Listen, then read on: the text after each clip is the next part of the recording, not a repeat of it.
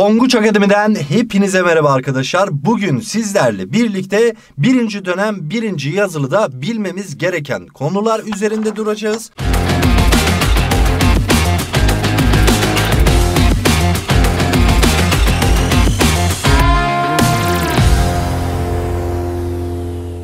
Bununla birlikte etkinlik, soru çözümleri yapacağız diyebiliriz. Neler öğrendik biz bu süreçte derseniz doğal sistemler ünitesi içerisinde dünyanın yapısı ve oluşum süreçlerinden bahsettik.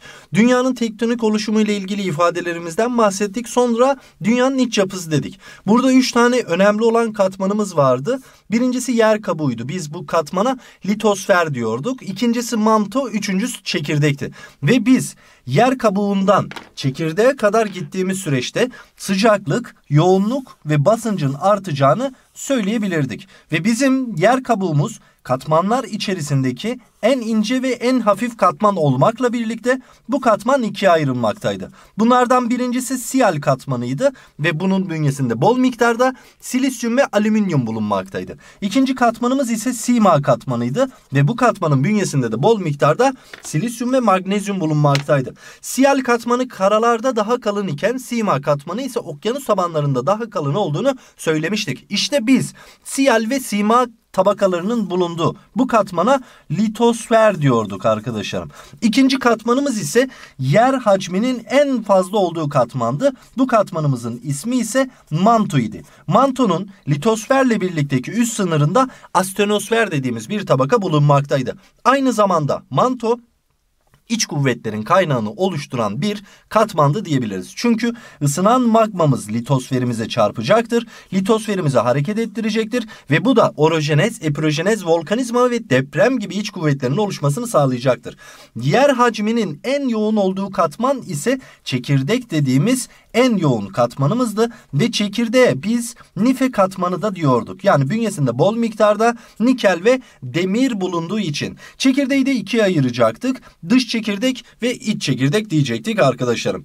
Levha tektoniği dediğimizde birinci bildiğimiz ya da öğrendiğimiz kıtaların kayması kuramıydı. Alfred Wegener bu teoriyi ortaya atıyordu ve diyordu ki kıtalar önceden tek bir kara kütlesiydi. Çeşitli sebeplerden dolayı bazı alanlarda kıtalar birbirinden uzaklaşmış, bazı alanlarda ise uzaklaşan parçalar tekrar birbirine çarparak günümüzdeki konumunu almış. Bu teoriyi ortaya attığında Alfred Wegener buna kanıt olarak kıtalardaki sürüngen fosillerine bakmış ve demiş ki Alfred Wegener eğer ki günümüzde Afrika ve Amerika'daki fosillere baktığımızda iki sürüngen fosilinin aynı olan alanda bulunduğunu biliyorsam ya da aynı alanda bulunduğunu görüyorsam bununla birlikte şu anda bu iki alandaki iklim koşulları farklıysa önceden burası tek bir kara kütlesiydi ve bu kapsamda aynı iklim yaşanıyordu. Birbirinden uzaklaşarak günümüzdeki konumunu aldı diyor. İkinci ortaya attığı teori ise Güney Amerika ile Afrika kıtalarını birbirine yapıştırdığımızda puzzle'ın parçası gibi birleşeceğini söylemiştir diyoruz. Ama Alfred Wegener'in açıklayamadığı en önemli ifade bu kıtaların nasıl hareket ettiği ile ilgili ifadeydi. Ama Alfred Wegener'in teorisi geliştirilerek levha tektoniği kuramı ortaya atılmıştır. Yani demişler ki Alfred Wegener aslında doğru söylüyordu. Açıklayamadığı tek şey levhalar yani dünya tek bir kara kütlesi değil. İrili ufaklı birbirine bağlayan levhalar var diyor ve bu levhalar bazı yerde birbirinden uzaklaşıyor bazı yerde ise birbirine yaklaşıyor. Yaklaşan levha sınırlarında volkanizma görülürken sıra dağlarının oluşması sebebiyet verecektir. Uzaklaşan levha sınırlarında gene aynı şekilde volkanizma olacaktır.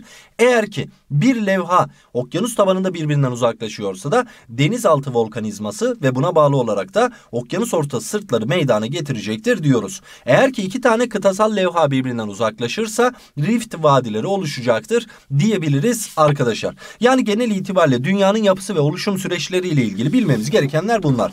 İkinci kısımda ise jeolojik zamanlar. Yani biz burada genel itibariyle dört tane jeolojik zamandan bahsettik. İlkel zaman, prekambriyen aslında bu tüm jeolojik zamanlar içerisindeki en uzun jeolojik zamandır. Ve burada en eski kıta çekirdeklerinin oluşmasıyla birlikte arkadaşlarım birinci jeolojik zamana geldiğimizde masif arazilerimiz olacaktır. Türkiye'de de vardı Yıldız Dağları, Menteşe Saruhan Masifi gibi arkadaşlar ve bu dönemde taş kömürü yatakları meydana gelmişti. Bununla birlikte ikinci jeolojik zaman aslında genel itibariyle bir durgunluk dönemidir. Burada çünkü birinci jeolojik zamanda iki tane orijenik hareketimiz var.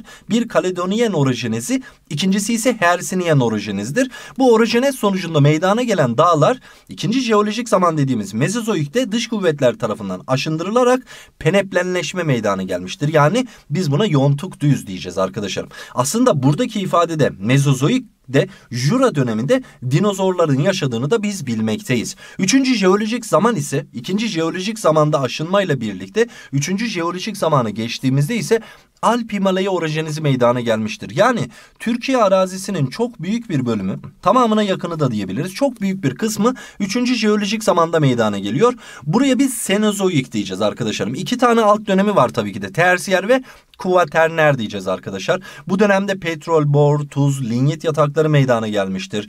Toroslar ve Kuzey Anadolu dağları oluşmuştur. Alp dağları, Himalaya dağları meydana gelmiştir diyeceğiz. Burada şiddetli volkanizma ile birlikte buzul çağı yaşanmıştır. Buzul çağının sonlarına doğru da ilk insan ortaya çıkarak günümüz iklim koşulları da oluşmuştur diyebiliriz. İç kuvvetlere geldiğimizde ise dört tane iç kuvvet bilmemiz gerekiyor. Birinci iç kuvvetimiz orojenez, ikinci iç kuvvetimiz epirojenez, volkanizma ve depremler diyeceğiz.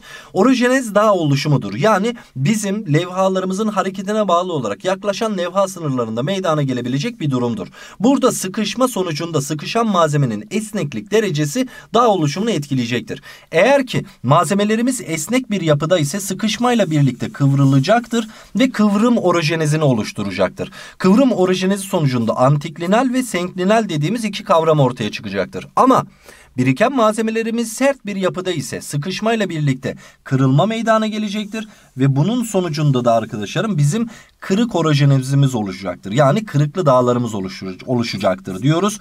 Yukarıda kalan kısmına biz horse diyeceğiz. Aşağıda kalan kısmına ise graben diyeceğiz arkadaşlarım. Horse dediğimiz dağlık kısım graben dediğimiz ise ova tabanı olarak karşımıza çıkacaktır. Biz kırıklı dağlık sistemi nerede göreceğiz dediğimizde Ege bölgesinde göreceğiz. Kıvrımlı dağlık sistemini ise Türkiye'de Toros dağları ile Kuzey Anadolu dağlarında göreceğiz diyoruz arkadaşlarım. Unutma Kırıklı dağlık sistemlerde fay hattı yoğun olacağı için depremsellik de yüksek olacaktır diyebiliriz. Epirojenez ise kıtaların dikey yönde yükselip ya da alçalması durumudur. Ve bu olay sonucunda arkadaşlarım deniz ilerlemesi transgresyon ya da deniz gerilemesi regresyon olacaktır. Burada önemli olan ifade karalardaki malzemelerin aşınıp bir yerde birikmesi, aşınan alanlarda hafifleme meydana geleceği için yükselme gerçekleşecektir. Biriken malzemeler ağırlığı artıracağı için o alanlarda da alçalma meydana gelecektir diyebiliriz. Volkanizma ise yerin alt kısmındaki kızgın magmanın yer yüzeyine yakın yerlere ya da yer yüzeyine çıkarak soğuması sonucunda oluşacaktır.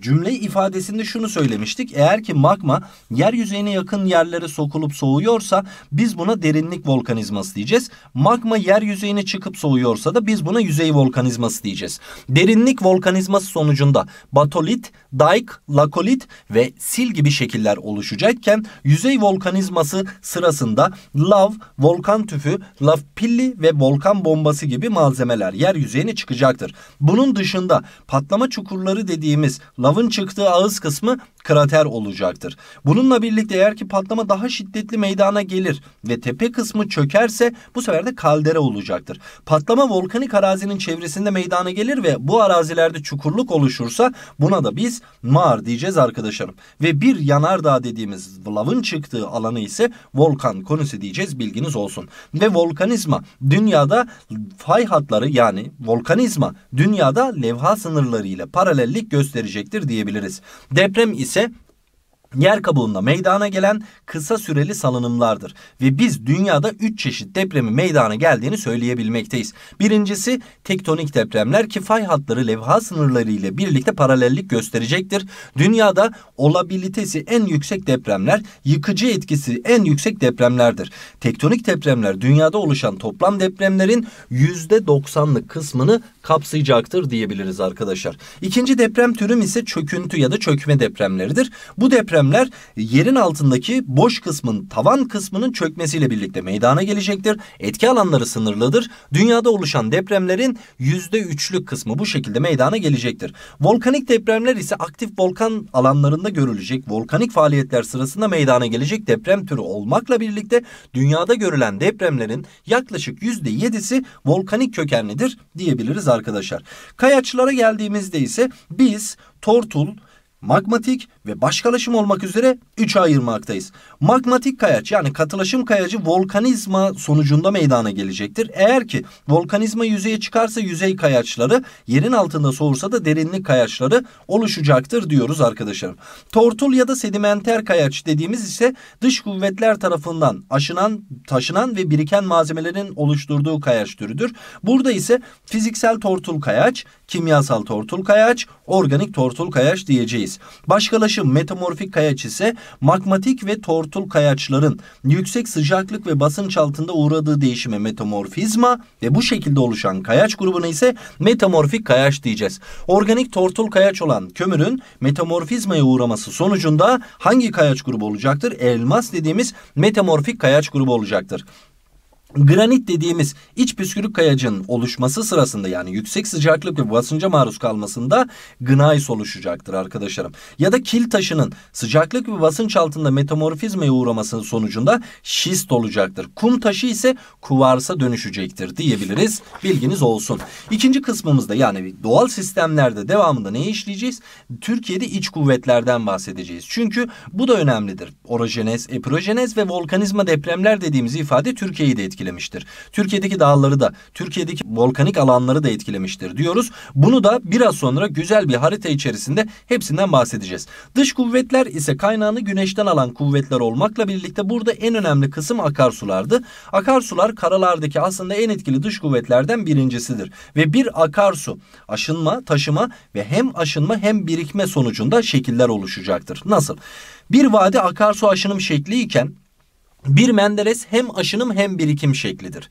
Bununla birlikte birik, birikinti konisi birikim şekli iken taraça hem aşınım hem birikim şeklidir diyeceğiz. Bunlarla ilgili de biraz sonra etkinliklerden bahsedeceğiz. Rüzgar, kurak, Özellikle kurak ve yarı kurak iklim bölgelerinde görülecek bir dış kuvvettir. Rüzgar aşınım birikim şekilleri. Barkan, lös diyebiliriz, mantar kaya diyebiliriz arkadaşlar bilginiz olsun. Karstik şekiller dediğinde bilmemiz gereken en önemli kayaç grubu kalkerdir. Kalker ne demek dersek bizim bilmemiz itibariyle kireç taşı diyeceğiz arkadaşlar. Bunun dışında jips de olacaktır. Jips nedir dediğimizde jips arkadaşlarım alçı taşıdır. Bir diğer kaya grubumuz var. Burada nedir bu? Kaya tuzu arkadaşlarım. Eğer ki böyle bir arazin varsa sen bu araziye karstik arazi diyeceksin. Ve bu suyla tepkimeye girdiğinde eriyecektir. Aşınım şekillerini, aşınan malzemeler birikecektir. Birikim şekillerini meydana getirecektir. Lapya, dolin, uvala, polye gibi şekiller aşınım şeklidir arkadaşlarım.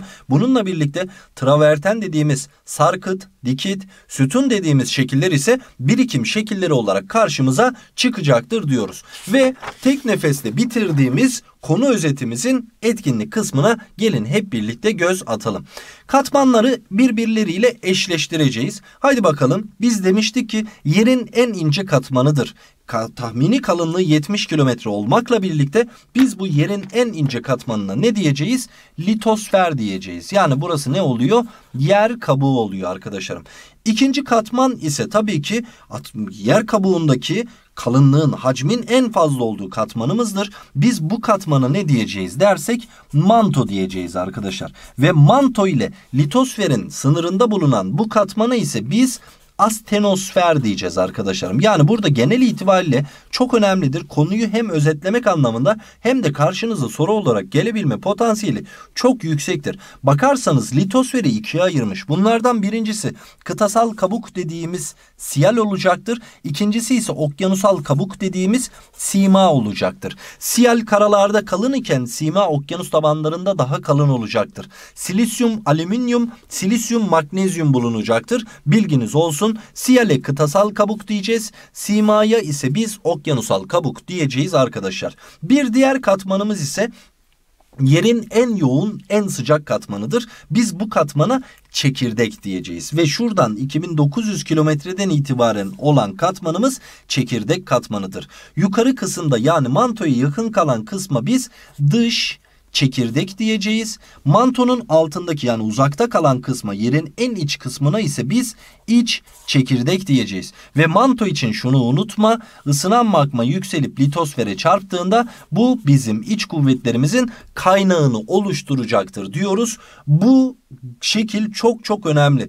Çünkü bu şekli soru kökünde öğretmeninizin size sorma ihtimali çok çok yüksektir arkadaşlarım. Bir diğer ifade tabii ki de jeolojik zamanlar da önemli ve size jeolojik zamanlarla yaşanan olayların eşleştirilmesi sorusu da gelecektir. Ve biz burada genel itibariyle tüm jeolojik zamanlarda meydana gelen ana önemli olayları aldık ve ben burada okumaya başladıktan sonra siz hangi jeolojik zamanda meydana geliyorsa yorumlar kısmına yazmanızı istiyorum. Pangea kıtası ayrılmaya başlamıştır diyor. Pangea kıtası ayrılmaya başlamıştır. Şimdi en eski kıta çekirdekler oluşuyor. Daha sonra Mezozoik dönemine geldiğimizde Pangea kıtası ayrılmaya başlıyor. Birinci jeolojik zamanda ise dünyada süper kıta dediğimiz evet Pangea kıtası var ve Pangea kıtasını çevreleyen de bir okyanusumuz var Pantalassa. İkinci jeolojik zaman dediğimiz Mezozoi'ye geldiğimizde ise Pangea kıtası ayrılarak Laurasya ve Gondwana olmak üzere ikiye ayrılacaktır. Daha sonra Tetis denizi meydana gelecek. Orada da söyleyeceğiz. İlk canlılar ortaya çıkmıştır diyor. Tabii ki de bu birinci jeolojik zaman olan Paleozoik'te meydana gelmiştir diyebiliriz arkadaşlarım. Jeosenklinal alanlarında büyük çaplı tortullaşmalar yaşanmıştır diyor. Bu özellikle arkadaşlarım Mezozoik'te meydana gelecektir. Çünkü Paleozoik dediğimiz birinci jeolojik zamanda iki tane önemli orojenik hareketimiz var. Bunlardan birincisi arkadaşlarım Kaledoniyen orojenizidir. İkinci orojenizimiz ise Hersiniyen orojenizdir. Ve bu iki orojenez hareketi sonucunda oluşan dağlık alanlarda dış kuvvetler aşındırma yaparak okyanus tabanlarında biriktirme meydana gelmiştir. Ve biz buna tortullaşma diyoruz arkadaşlarım. En eski kıta çekirdekleri ne zaman oluşmuştur dersek Prekambriyen'de oluşmuştur arkadaşlarım. Onun dışında devam ettiğimizde Alp Himalaya kıvrım dağ kuşakları oluşmaya başlamıştır. Alp Himalaya kıvrım dağ kuşaklarının oluşmaya başlaması Senozoik dediğimiz jeolojik zamanda meydana gelmiştir ki burada özellikle arkadaşlarım bizim bilmemiz gereken Türkiye'de Toros Dağları ile Kuzey Anadolu dağları da bu jeolojik dönemde oluşmuştur diyebiliriz. Dinozorlar yaşamış ve bu dönemin sonunda ortadan kalkmıştır dediği Mezozoik'in arkadaşlarım ikinci alt devri olan Jura döneminde meydana gelmiştir diyebiliriz arkadaşlar. Bir diğer kısım Atlas ve Hint okyanusları oluşmuştur. Tabii ki de Senozoik'te meydana gelmiştir diyeceğiz. Senozoik'i tersiyer ve kuaterner olmak üzere iki alt devire de ayırabiliriz. Taş kömürü yatakları oluşmuştur karbonifer döneminde oluşuyor ki bu hangi jeolojik zaman içerisinde dersek paleozoik devrinde karbonifer döneminde taş kömürü yatakları oluşmuştur ki Türkiye'de taş kömürü yatakları nerede yer alacaktır?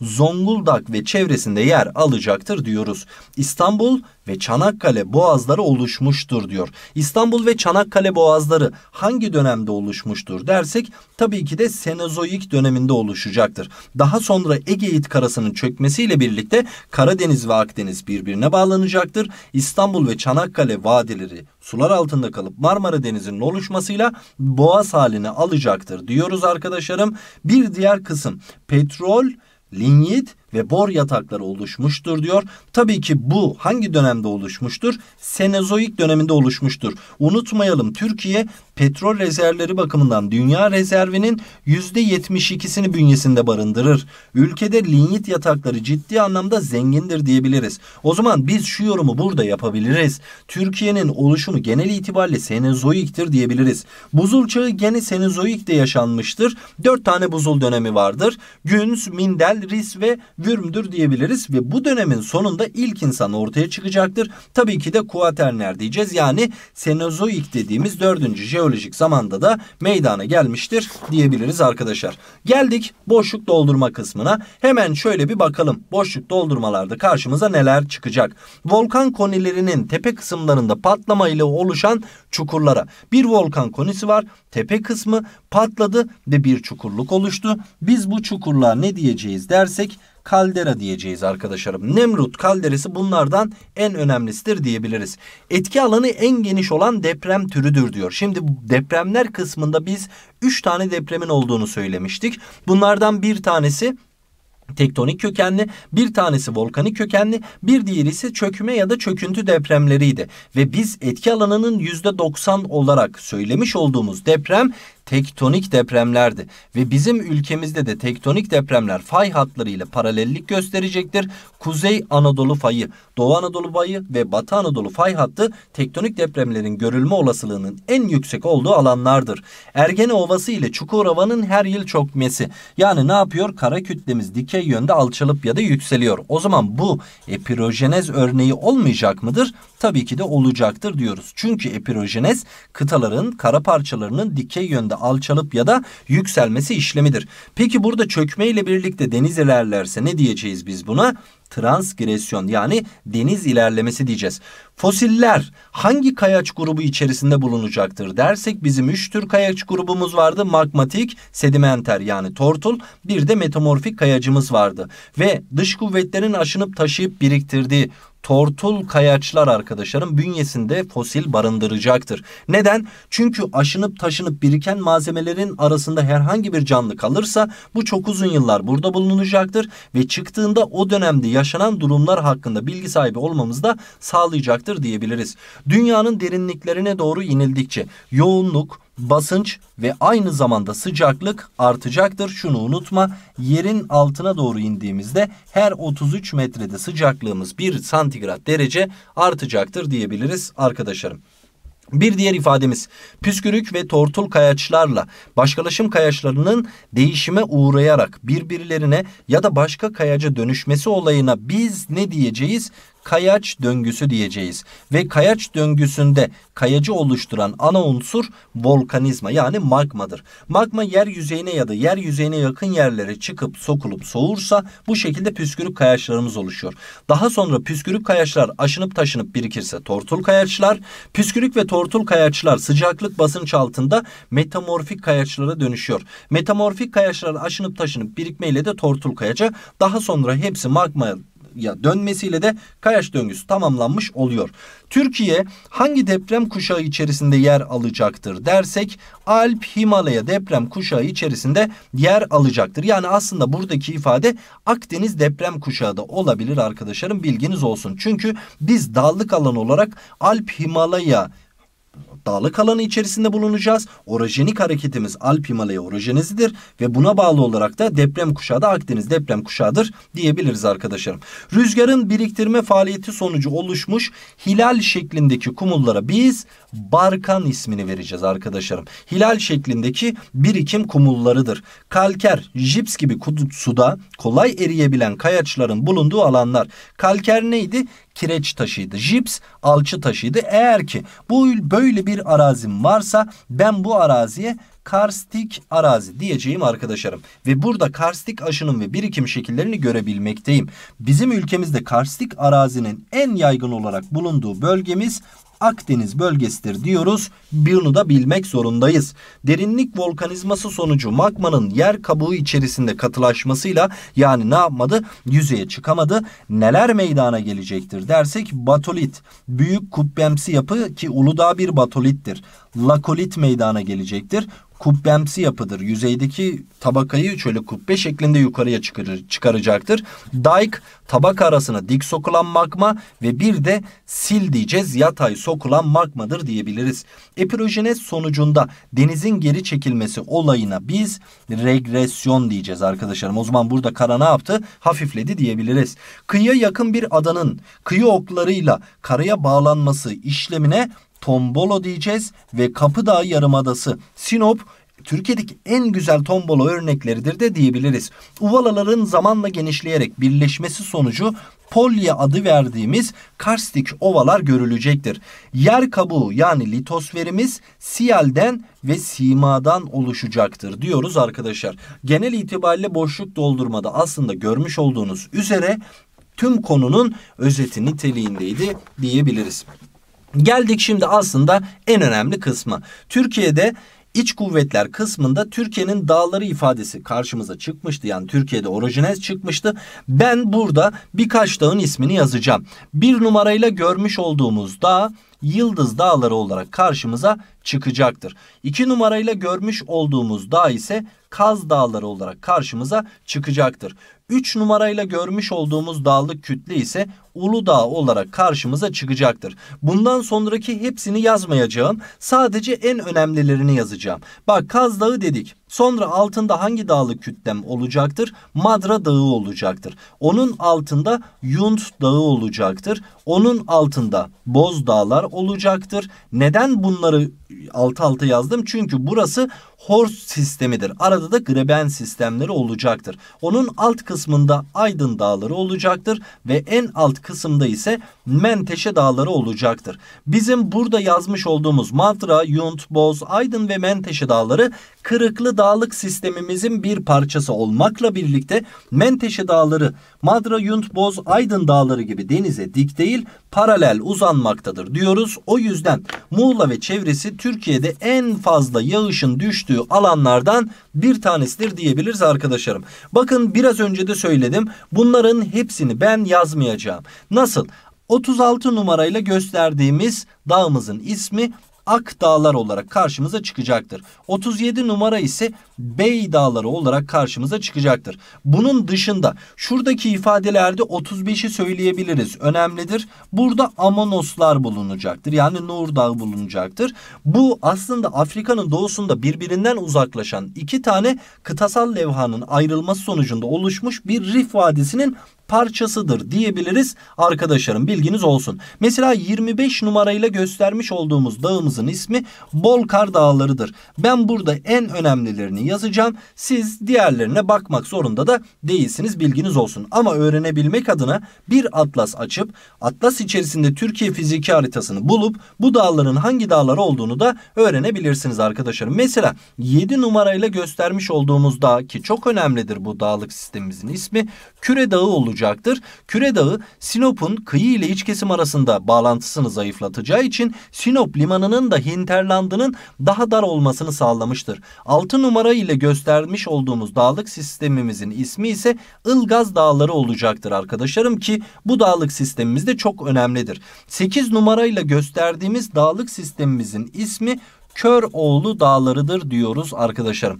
Bakın bu kısımda bilmemiz gereken dağlık sistemlerimiz bu kadar. Şuraya geldiğimiz zaman Samsun'un bulunduğu alanda arkadaşlarım biz Canik Dağları'nın bulunduğunu söyleyeceğiz. Onun hemen yanında Giresun Dağları'nın bulunduğunu söyleyeceğiz. Sonra 13 ve 14 numaralı dağlık sistemimiz aslında Doğu Karadeniz dağları olarak şöyle gelecektir. Ama burada tabii ki de 13 numarayla verilen dağımızın isminin Kaçkar Dağı olduğunu da bilmeniz sizin için önemlidir diyebilirim.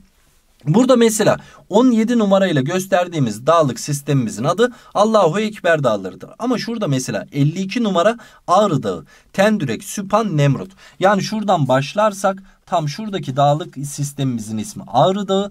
Daha sonra şöyle geleceğim Tendürek Dağı, sonra geleceğim Süpan Dağı ve sonra geleceğim Nemrut Dağı diyeceğim. Yani bunu ezberlemekte zorlanabilirsiniz. Ağrı'yı bildikten sonra alfabenin en son harfinden başa doğru geleceksin. T, S, M yani Tendürek, Süpan, Nemrut Dağı diyeceksin. M dedim ne olacak arkadaşlar? Tendürek, Süpan, Nemrut Dağı diyeceğiz. Sonra bak şuradaki hattı görüyor musun? Bak bir hat şeklinde kırılma var. Ve bunun devamında da ne olacaktır? Burada da bir volkanik dağımız var. Bu dağımızın ismi nedir dediğimizde Karaca Dağ olacaktır ki Türkiye'de iki tane Karaca Dağ bulunmaktadır arkadaşlarım. Bunlardan bir diğeri de arkadaşlarım İç Anadolu bölgesi ile Akdeniz bölgesi sınırı içerisinde yer alacak bir dağımızdır. Bu da Karaca Dağ'dır. Burada Erciyes, Melendis, Hasan Dağı, Karadağ ve Karadağ bulunacaktır. Şuradaki 44 numarayla göstermiş olduğumuz dağımızın ismi Karaca Dağ'dır. 43 numara Karadağ'dır arkadaşlarım bilginiz olsun. Şurada Güneydoğu Toroslar vardır. 32 numarada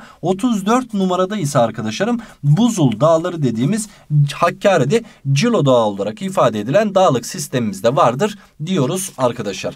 Genel itibariyle dağlar önemli. Denize paralel uzanır Akdeniz ve Karadeniz'de ama Ege'de dağlar denize dik uzanır. Bunun birçok özelliği vardır ki biz bunu da derslerimizde anlatmıştık diyoruz arkadaşlarım. Geldik bir sonraki etkinliğimiz akarsuların oluşturduğu yer şekillerini birikim aşınım hem aşınım hem birikim şeklinde gelin hep birlikte eşleştirelim. Ben şöyle yapıyorum. Diyorum ki aşınım şekli olursa A diyelim şuraya. Birikim şekli olursa B diyelim. Hem A hem aşınım hem birikim şekli olursa da H diyelim işimiz biraz kolaylaşsın. Birikinti konisi. Eğer ki bir dağın eteğinde bir akarsu aşındırdığı malzemeleri dağın eteğinde biriktiriyorsa ki koni şeklinde birikimdir ve biz buna birikinti konisi diyeceğiz. O zaman birikinti konisi akarsu aşınım şekli olarak karşımıza çıkacaktır. Akarsu birikim şekli olarak karşımıza çıkacaktır. Onu da hemen düzeltelim.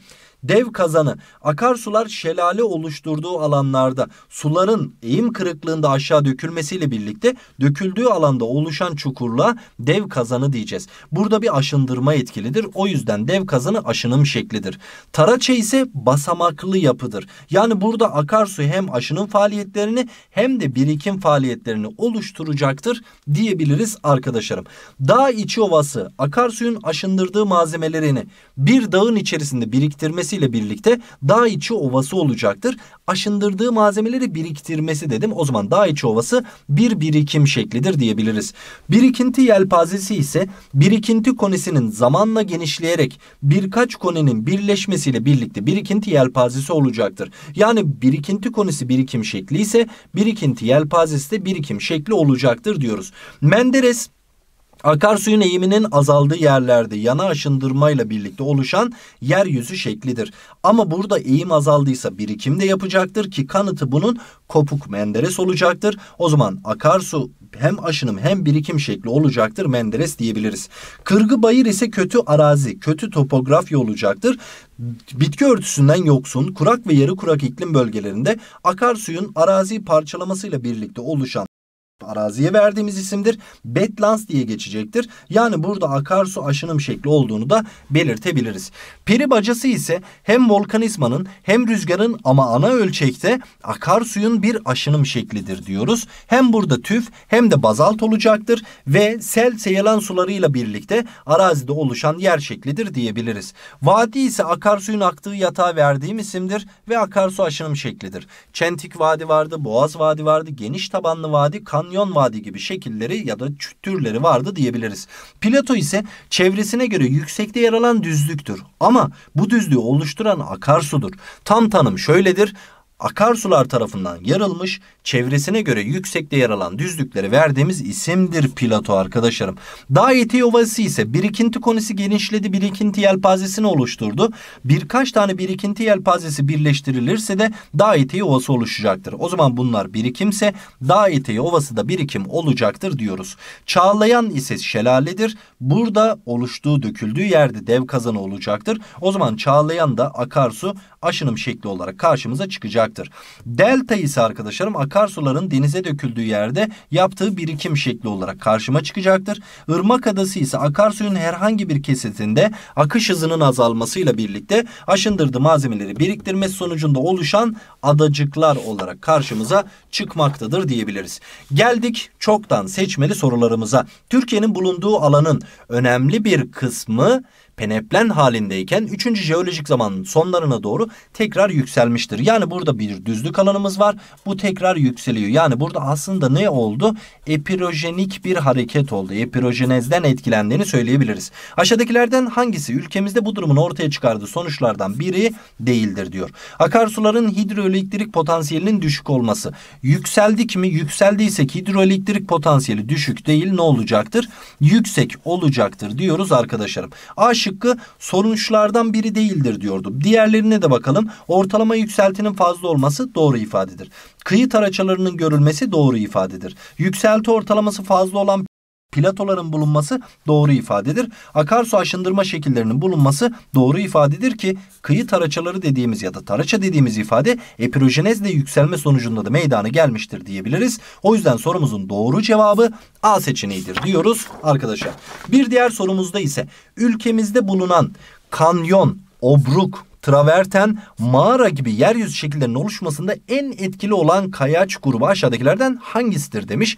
Eğer ki ben bu şekilleri görebiliyorsam bunu gördüğüm araziye karstik arazi diyeceğim. Şimdi karstik arazi diyorsam kalker, jips, kaya tuzu gibi şehir şekilleri yani kayaçların olması lazım. Granit dediği değil. Tüf, kum taşı kömür olmayacaktır. Kalker dediğimiz kireç taşı, kanyon, obruk, traverten ve mağaranın oluşumunda en etkili kayaç grubudur diyebiliriz. Bir sonraki sorumuzda ise bir akarsu vadisinde yatak eğiminin azaldığı yerlerde aşağıdakilerden hangisi görülmez? Yani düzleştiği arazilerde akarsu ne yapacaktır? Menderesler çizecektir. Büklüm diyeceğiz biz buna. Burada hem aşınım hem birikim şekli olduğunu biliyoruz. Akarsu taşıdığı materyalleri biriktirecektir çünkü yatak eğimi azaldı arkadaşlarım. Akarsu boyunu uzatacaktır. Neden? Akarsu düz bir hat şeklinde gitmiyor. Menderes çiziyor. O yüzden bunu düzelttiğimizde daha fazla boyunun uzadığını da söyleyebiliriz arkadaşlar arkadaşlarım. Akarsuyunun akış hızı tabii ki de azalacaktır. Çünkü eğim azalıyor. Ancak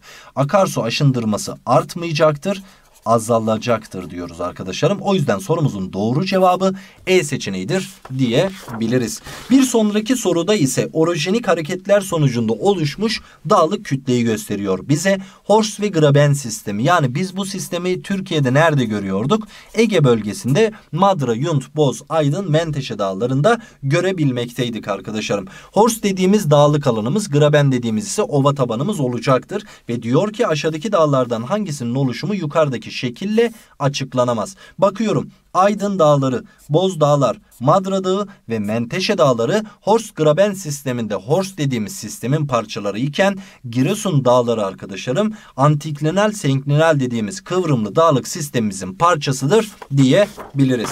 Bir sonraki sorumuzda ise aşağıdaki kayaçlardan hangisinde fosil bulunma olasılığı daha yüksektir ki biz biliyoruz ki tortul yani sedimenter kayaç grubunda tortul kayaç grubunda fosil bulunma ihtimali çok yüksektir. Bazalt, diorit, granit ve kuvarsit dediğimiz kayaç gruplarında fosil bulunma ihtimali yüksek değildir. Ancak kum taşı dediğimiz kayaç grubu fiziksel tortul kayaç grubuna dahil edileceği için bu kayaç grubunda fosil bulunma ihtimali yüksektir diyoruz. Bir diğer sorumuz aşağıdaki kayaçlar oluşumlarına göre ikişerli gruplandırılırsa hangisi bu gruplanmanın dışında kalacaktır? Gneiss, linyit, şist, kalker, kaya tuzu diyor. Granitlerin metamorfizmaya uğramasıyla birlikte gneiss oluşuyordu. O zaman buraya şöyle metamorfik kayaç diyorum. Kil taşı sıcaklık ve basınç altında şiste dönüşüyordu metamorfik kayaç. Yani A ve D metamorfik kayaç olarak karşımıza çıktı. Kalker ise o kimyasal tortul kayaçtır. Yani kireç taşı diyeceğiz. Hemen şuraya şöyle tortul kayaç diyorum. Linyit ise organik tortul kayaçtır tortul diyorum. Kaya tuzu ise kimyasal tortul kayaçtır. Tortul diyorum. Evet üçü de tortul kayaçtır. Ama kalker kimyasal tortul kayaç, kaya tuzu da kimyasal tortul kayaçtır. O yüzden linyit dediğimiz organik tortul kayaç bu kayaçlar dışarısında yer alacaktır diyoruz arkadaşlarım. Bir diğer sorumuz ise aşağıdaki şekillerden hangisinin oluşması için suda kolay çözünen kayaçların yaygın olması gerekir? Yani ne demek istiyor burada? Kardeşim sen burada kimyasal tortul kayaç grubundan birini arayacaksın. Barkan, mantar kaya, uvala, peribacası, peneplen, kimyasal tortul kayaç varsa burada ne olacaktır? Karstik arazi olacaktır. Karstik arazide de kalker, jips ve kaya tuzu gibi kimyasal tortul kayaçlarımız bulunacaktır ve bu kayaç gruplarında olabilecek en önemli yer şekli uvaladır diyoruz arkadaşlarım. Barkan ve mantar kaya rüzgar, aşınım ve birikim şekilleridir. Peri bacası akarsu, peneplemde akarsu aşınım şekilleridir diyebiliriz. Geldik tek nefeste bitirdiğimiz dersimizin sonuna. Karşınızda günün ödüllü sorusu cevapları yorumlar kısmına yazmayı unutmayın. Sizlere sınavlarınızda başarılar diliyor. Bir sonraki videoda görüşmek üzere. Kendinize iyi bakın. Kolay gelsin. İyi çalışmalar.